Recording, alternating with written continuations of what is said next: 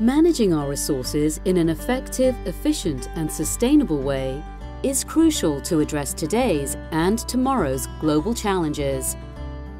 Policy decisions are behind a series of our daily activities, from the food we eat to the energy we consume at home, while driving to work or when going on holiday.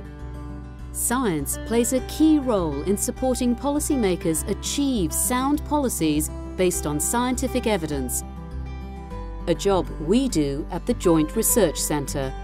We are the European Commission's in-house science service. We act as a knowledge broker, providing scientific and technical support to EU policymakers.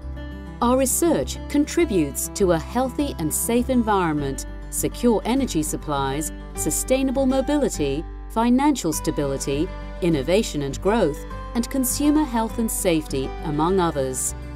We collaborate with international organizations and work with more than 1,000 research organizations worldwide, taking part in more than 100 networks at national, EU or global level. Want to know more about what we do and how we do it? Visit our Science Hub or follow us on Twitter at EU underscore Science Hub.